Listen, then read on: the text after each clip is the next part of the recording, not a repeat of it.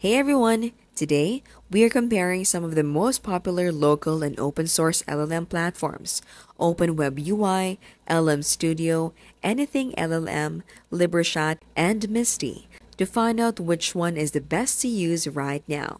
OpenWeb UI is flexible and works across multiple backends, making it a favorite for those who want a customizable experience. It's stable and user friendly, though it requires some setup knowledge. LM Studio is designed for running models locally, with a polished interface and strong performance, especially if you want privacy and offline capability, though it's limited by your hardware. Anything LLM stands out for ease of use and integration features, great for people who want something simple but still effective. LibreChat offers strong customization and looks very similar to commercial chat platforms, but you need more tech knowledge to get the best out of it.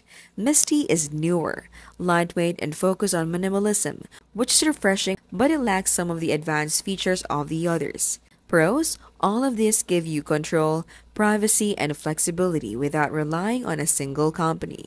Cons They require setup time and performance can vary depending on your computer.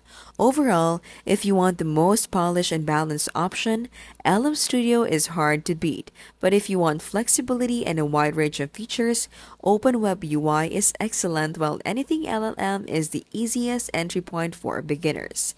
This has been how to to keep things smart and simple and scam free.